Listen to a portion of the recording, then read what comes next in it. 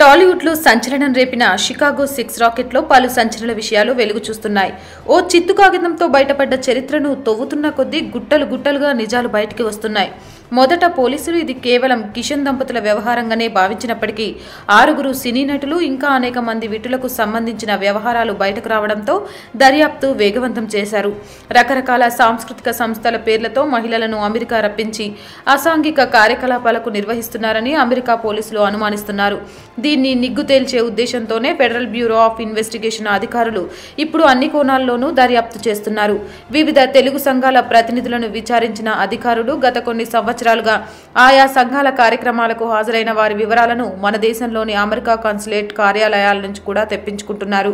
అమెరికాకు వెళ్ళిన వారి ఆర్థిక లావాదేవీలను ఆరా తీస్తున్నట్లు సమాచారం. తాము సినీ తారలను పిలిపిస్తుంటామని సాంస్కృతిక కార్యక్రమాల వరకే తమకు తెలుసని వివిధ సంఘాల వారు పోలీసులతో చెప్పినట్లు తెలుస్తుంది.